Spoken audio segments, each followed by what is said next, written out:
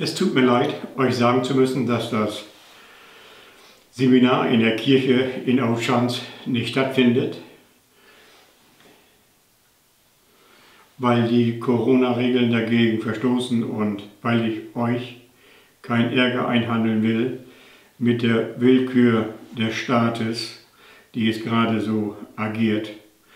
Das haben wir beschlossen, Doris und ich, dass wir dieses Seminar hier in unseren Räumen wie eh und je wieder zelebrieren. Mit der gleichen Demut, mit dem gleichen Anstand, mit der gleichen Würde, als wären wir irgendwo anders. Jeder, der Familienstellen kennt, der weiß, wie tiefgreifend es ist und dass oft das, was draußen am Fernsehen passiert, nicht die Realität ist und auch nicht unser Leben verändert.